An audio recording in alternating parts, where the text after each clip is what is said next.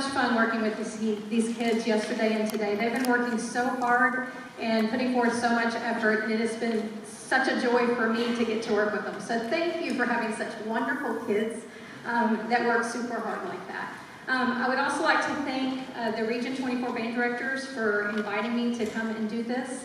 Um, it has been a great honor for me. Uh, I would also like to give a shout out to the region chairs here, Katie Lewis and Laura Bell, um, for inviting me, along with uh, Samantha Hoffman, who's been coordinating for me, and Jeff Elsner, who's been helping the percussion. Um, everybody has been so wonderful here, and I really appreciate being able to do this. So thank you both for all of your help.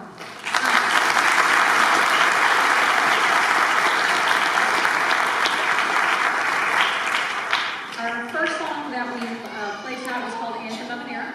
Uh, then we followed that with The Chase and then Night of the Dark Horse, and we're going to close the program with Friends of Freedom. And it has a little part of America the Beautiful in it that you'll recognize. Thanks so much for being here.